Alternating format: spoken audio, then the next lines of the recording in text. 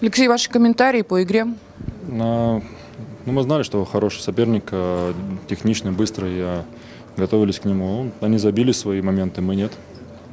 Долго вас не было, отсутствовали. Расскажите о том, как сейчас себя чувствуете и как первый матч вам после долгого паузы. Проигрыш, как я могу себя чувствовать? А, Неважно. Будем готовиться к следующему. Вот. А по игре вроде ничего. Как бы, мне кажется, главному тренеру больше вопрос. Как бы, а так э, вроде ничего, чувствовал себя хорошо.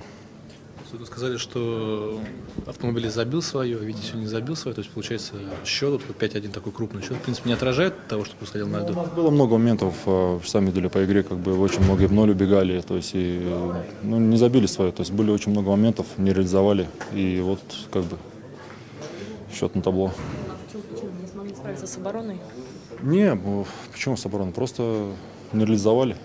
Не знаю. Будем разбираться. Реализация хромает, так что Не давило морально то, что будете играть с э, еще недавним лидером Восточной конференции? Да нет, конечно.